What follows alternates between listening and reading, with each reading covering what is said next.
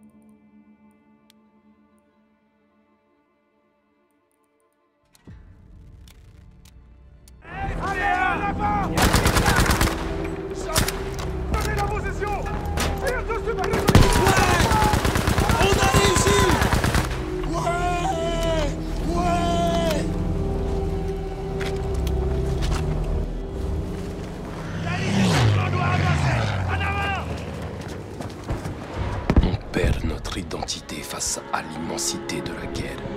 Une autre fourmi, un autre cadavre.